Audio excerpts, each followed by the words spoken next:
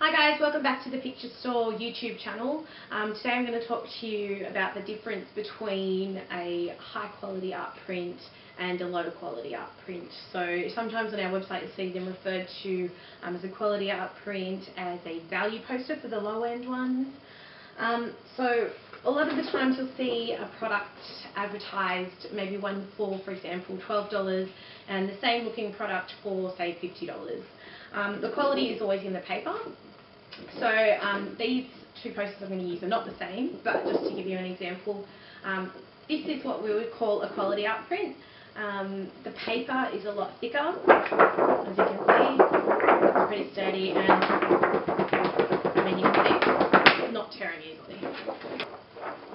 This is what we would call a value poster or a low-end poster.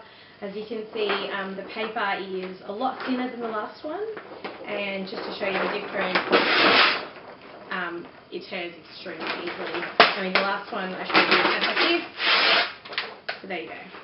You can tell the difference, and that's the reason for the big price difference also, as you can see.